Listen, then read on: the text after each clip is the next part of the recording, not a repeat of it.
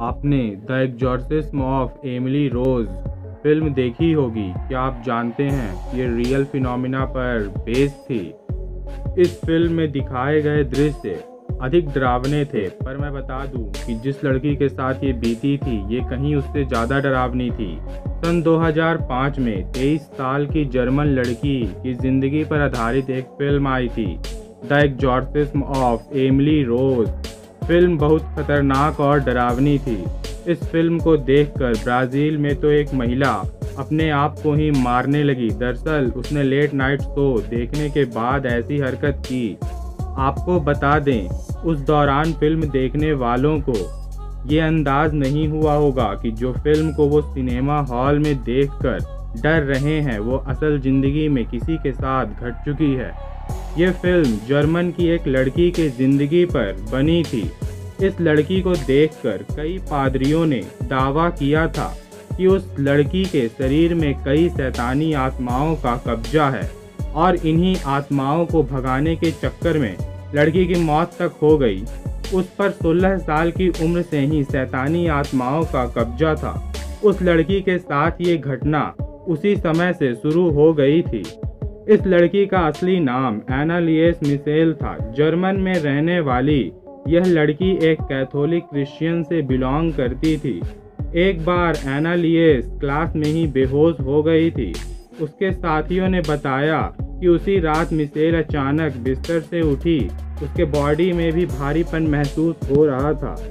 इस घटना के एक साल बाद मिसेल को ऐसी परेशानियाँ होने लगीं कि उसे डॉक्टर के पास तक ले जाया गया। लेकिन डॉक्टर भी पता नहीं लगा पाए कि आखिर हुआ क्या है। कुछ ही दिनों बाद मिसेल को टीबी हो गया, जिसके लिए मिसेल को हॉस्पिटल में एडमिट करा दिया गया। उसकी हालत और ख़राब हो गई। इन परिस्थितियों के बावजूद भी मिसेल ने अपनी स्कूल की पढ़ाई पूरी की और कॉलेज में दाखिला भी ली। वक्त बीतने के साथ ही मिसेल की हालत और बुरी हो रही थी। अब पूजा के वक्त डरावनी चीज़ें दिखना, मिसेल ने डॉक्टरों से इलाज जारी रखने के साथ साथ अपने सेहत के बारे में पादरी से भी पूछने लगी। बिगड़ते हालत के बीच उसने कीड़े, मकोड़े और कोयले तक खाना शुरू कर दिए थे। अब हालत इतनी बिगड़ चुकी थी कि उसने फर्श से अपने ही यूरिन को पीने लगी थी।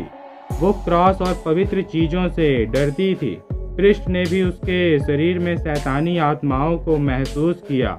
मिसेल के साथ अब एक्सोसिज्म यानी भूत भगाने की प्रक्रिया शुरू हुई। ये प्रक्रिया 67 डेज़ तक मिसेल के साथ हुई। इस प्रक्रिया में शैतानी भगाने की कोशिश की गई। पृष्ठ, इस प्रक्रिया के दौरान मिसेल पर छह शैतान होने का दावा किया।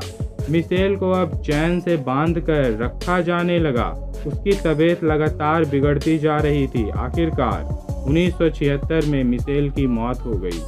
रिपोर्ट में सामने आया कि मिसेल के दांत टूट चुके थे और पूरे शरीर में चोट के निशान थे।